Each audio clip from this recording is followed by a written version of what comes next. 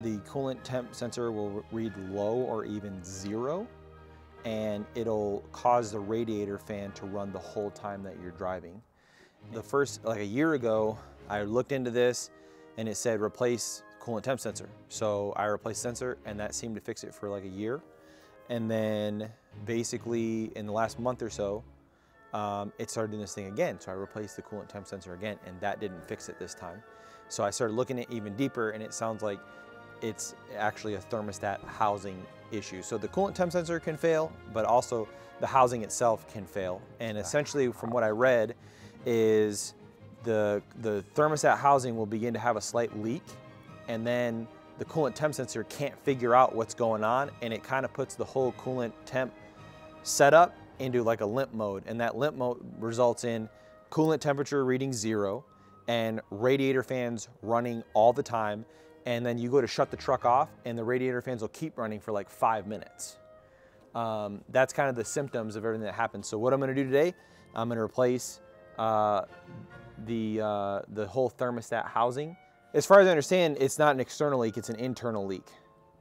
So it's, it, it's an internal leak that basically makes it so the coolant temp sensor can't figure out what's going on. So it's a symptom of like the thermostat, maybe it hasn't failed, Maybe nothing's gonna catastrophic, catastrophically overheat, but it's, hey, the thermostat uh, housing is. So basically, we're thinking we can replace our thermostat housing, which I see right here, and that's gonna make our Lord, zero temp uh, symptom go Lord away. willing, that is gonna fix the issue. And okay. it, from what I can tell, it seems to be a pretty common issue because even calling uh, local, you know, GMC, Chevy dealerships, a lot of them are back ordered on this specific part. And you have the part? And I have the part. Nice. The thermostat housing and coolant, coolant temp sensor is located right underneath here.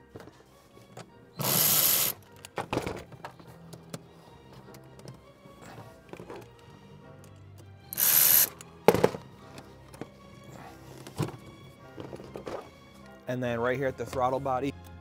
So that gets loosened. This pulls off. This side I already loosened, so that pulls off. As much as this as I can. So.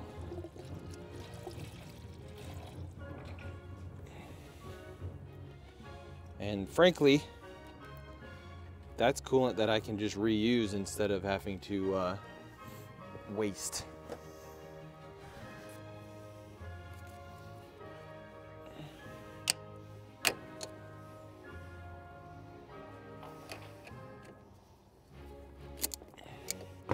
When I'm loosening everything, I, I, I, like to use an electric socket. Um, it just makes everything go faster. But when I go to reinstall all this stuff, I'm not going to use anything electric. I'm going to do like proper torque specs on everything. Um, because this is like steel screws going to an, into aluminum. Aluminum is very soft and very prone to uh, destroying Very threads. much the opposite of my style which is to just wing it and just stop turning when it starts to creak. Yeah, people are always asking me in the comments for torque specs, and a lot of times I just say pretty tight. Yeah. Or really tight. Or tight, but not too tight. This hose is gonna go right back on.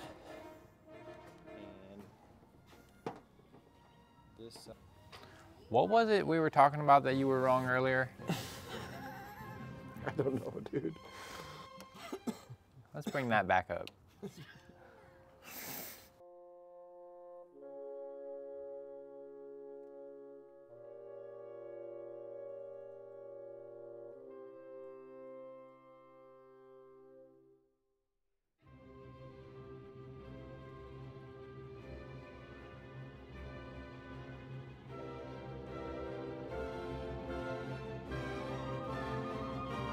Oh, so pro, pro tip on these uh, intakes.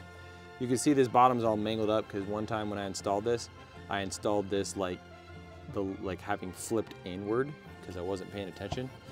So you really want to try to like get the right angle and kind of feed the bottom on first and push it up this way so you don't get stuff stuck and the, get the gasket folded over.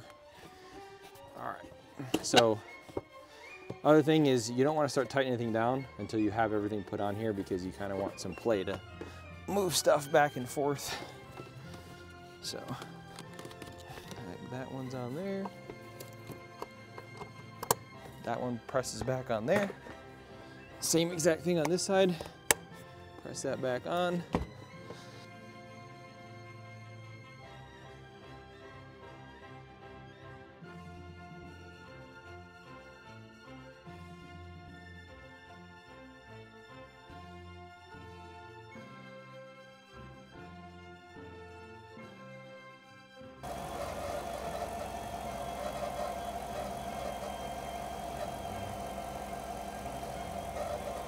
And that's one thing that's interesting about this error is that it, it doesn't produce a check engine light.